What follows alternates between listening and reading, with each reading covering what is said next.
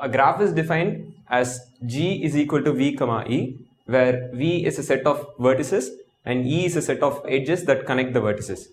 So basically a vertex is defined as a terminal point or an intersection point and an edge is uh, defined as the link between nodes. So we'll just see a few example of graphs now. So this is an example where the set of vertices V is 1 comma 2 and the set of edge is E1. So this is a graph. Uh, a null graph is a graph with no vertex and obviously since edge connects vertices, no edges also. So for all practical purposes, we will not be uh, handling null graphs for problems or any theorem. And an empty graph is a graph with no edge. So there might be vertices in an empty graph, but there will not be any edge. So basically a null graph is definitely an empty graph and the converse is not true. So an example of an empty graph is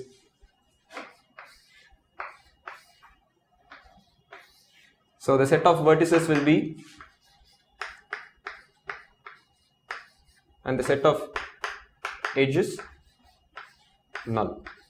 So this is an empty graph and a null graph is just the set of vertices is equal to null and the set of edges is also equal to null. A simple graph, a graph G with no self loops or parallel edge is known as a simple graph. So let's see what a self loop is. So given a vertex 1, if there is an edge from 1 to 1, it's known as a self loop. So in a simple graph, such self loops should not exist. Similarly, a parallel edges, let's say there are two vertices 1 and 2. If there are two different edges between 1 and 2, that is a parallel edge. So basically a simple graph should not have this or this. So an example of a simple graph is, this is an example of a simple graph. A multigraph is the opposite of a simple graph. A graph G which contains self loops or parallel edge is a multigraph. Uh, so an example of a multigraph is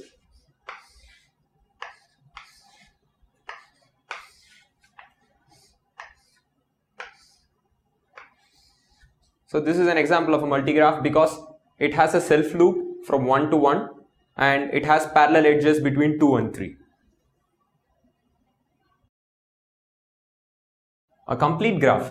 So a simple graph G with all possible edges that is every pair of nodes is connected by an edge. So this complete graph is notated using capital K. So let's just see examples of K2, K3, etc. K2 is a complete graph with two vertices. So there are two vertices and since it's a simple graph it cannot have a self loop and it cannot have parallel edges. So the only possible edge is an edge between 1 and 2. So every pair of nodes is connected with an edge. So let's go see K3. So K3 has three vertices. 1 2 is connected with one edge. 1 3 is connected with one edge. And 2 3 is connected with one edge. So this is a complete graph with three vertices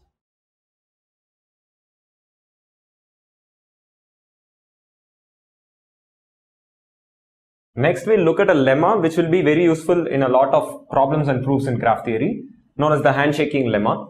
So the handshaking lemma states that the sum of the degrees of a graph is twice the number of edges.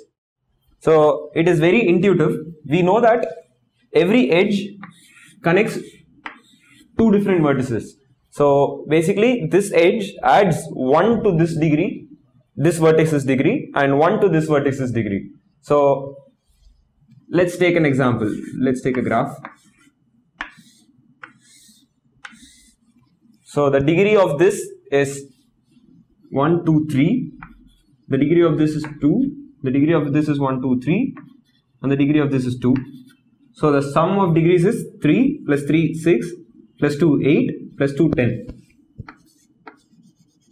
sum of degrees is equal to then we see that 1 2 3 4 5 edges are there. So any graph you take the sum of degrees will be twice the number of edges because each edge contributes to one degree of two different vertices.